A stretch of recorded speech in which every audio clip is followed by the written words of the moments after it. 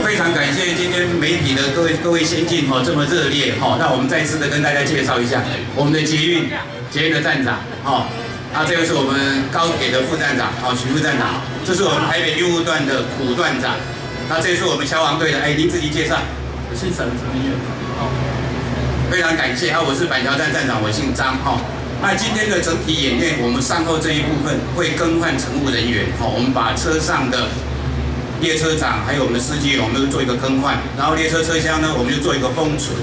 那可能要有刑事证据的财政这一类的东西，好。那我们今天的演习，各位媒体先进还有没有什么要指教的地方？